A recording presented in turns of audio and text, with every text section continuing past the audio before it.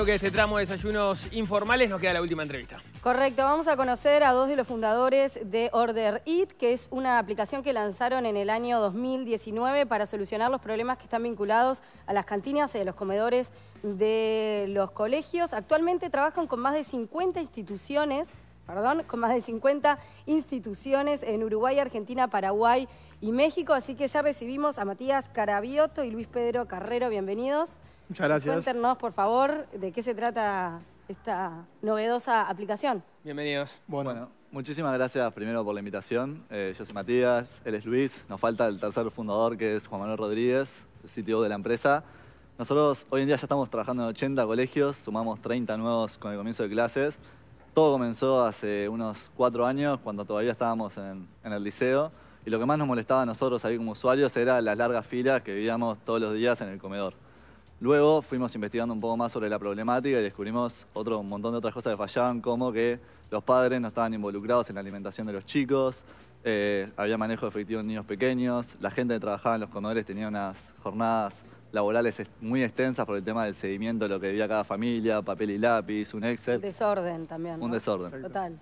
Todo eso fue lo que impulsó el proyecto y hoy en día creamos una solución que por un lado es una app donde los padres pueden pedir la comida, controlar lo que los chicos comen, ellos no pierden tiempo en las filas y les automatizamos todo lo que son las tareas administrativas a la gente que trabaja en los comedores. ¿Cómo, cómo funciona concretamente? ¿Cómo, cómo es la interacción con el cada comedor?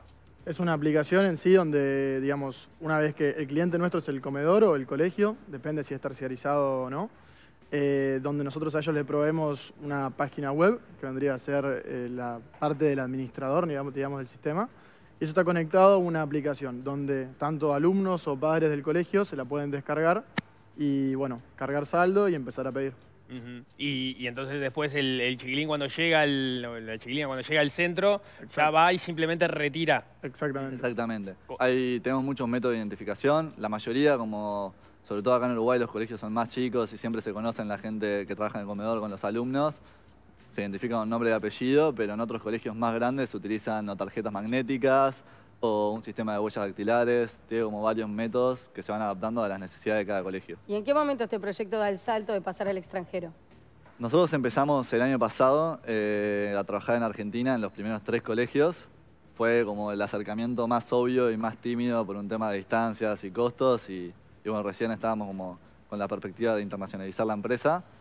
Pero bueno, ya a fines del año pasado cerramos con unos 20 colegios fuera de Uruguay, entre Argentina y Paraguay, y hoy en día ya tenemos más de 30 en esos dos mercados. Hola, perdón, pero lo que era la imagen antes de la cantina con la larga cola de chicos haciendo la cola para hacer un pedido y esperar que, que le den lo que quieren, cuando se trabaja con la aplicación, ¿en qué se transforma? ¿Se transforma en en que hay solo un lugar donde se entrega lo que ya está preparado de antes automáticamente o hay una cómo es la operativa? Exacto, eso varía también depende del colegio. Por ejemplo, en los horarios distintos de que hay de retiro o que le llevan, digamos, las comidas a las mesas, en fin, o sea, va se adapta, digamos, a la logística de ellos, pero evita todo lo que son los cuellos de botella en lo que son los pedidos eh, durante el día. ¿no? Si no hay una única manera de organizarlo, pero por lo menos ya que cortamos con la cola. Exacto, sí, lográs la planificación también. Claro, ¿no? podés organizarlo mejor. Adelante. No, la gran ventaja también es que de esa fila había un montón de chicos, nosotros, por lo menos cuando íbamos al liceo y a la escuela, que estábamos ahí para comprar el almuerzo o para comprar el almuerzo a nuestros hermanos más chicos que todavía no se podían comprar la comida.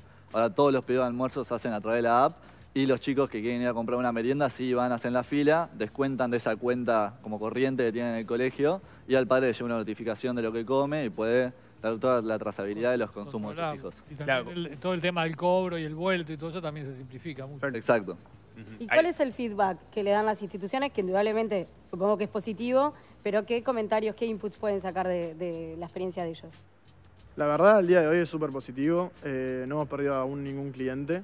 Eh, los colegios están muy satisfechos porque en sí también les mejora la imagen a ellos, lo cual es muy importante. Y bueno, la verdad los comedores a veces que nos vienen y nos dicen, mirá, ahora puedo descansar los fines de semana, ahora puedo... Eh, sé lo que tengo que cocinar, no estoy cocinando por dos o por tres. Y bueno, la verdad que los padres también, la adaptabilidad que tuvieron y, están muy conformes con, con, lo que ha sido el uso de la aplicación. La institución que quiera comunicarse con ustedes para contratarles este servicio, ¿cómo hace? Puede entrar mismo a la página nuestra que es orderit.tech, eh, T-E-C-H, Y ahí está toda nuestra información de contacto y también tiene un botón para directamente por ahí agendar una reunión online o presencial. Matías y Luis, lamentablemente se nos acabó el tiempo, pero muchas gracias por esta entrevista y mucha suerte. Bueno, Muchas muchas gracias gracias. Muchas gracias. Muy bien, nosotros nos tenemos que...